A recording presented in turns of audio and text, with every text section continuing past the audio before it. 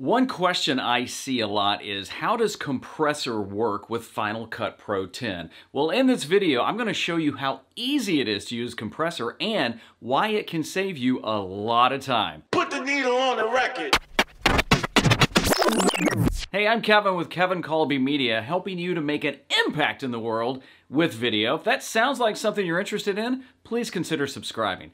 Now look, compressor is not a must-have tool, but I tell you, it saves me a ton of time because what I can do is when I edit a video in Final Cut Pro 10, I just go to File, send a compressor, and what that does is it takes the file, sends it over there, so I can like shut down Final Cut Pro, I can edit on something else, and then what happens is I take this one file in compressor and I can make multiple copies with it. So here's an example of how I use compressor. So here's a video I just did with an interview with Owen Video, and if you want to check it out, I'll put a link in the description. So I've, I've edited the video right here. Well, I want a version for YouTube and Facebook, and even maybe I strip it out for a podcast. Well, rather than do all that, yes, I can go up here and, and do a destination, but then that can take time. So I go up here to File, and I click on Send to Compressor.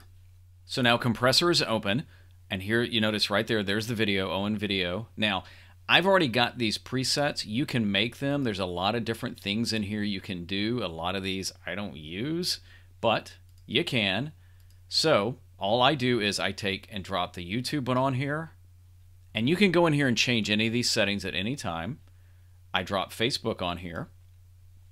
And now let's just say I also want to do an audio format MP3 that I could use for even podcast.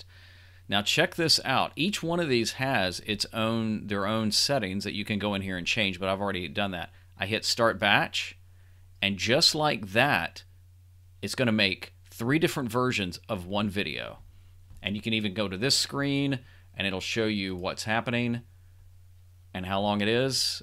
And just like that, it's going to make three different versions optimized for different platforms with one video and I'm done. So if you want to know more about Compressor, there's a link down in the description where you can check it out. Again, it's about 50 bucks, but I love it and use it all the time. Hey, I hope this helps you make an impact in the world by making video. I'm Kevin. Thanks for stopping by.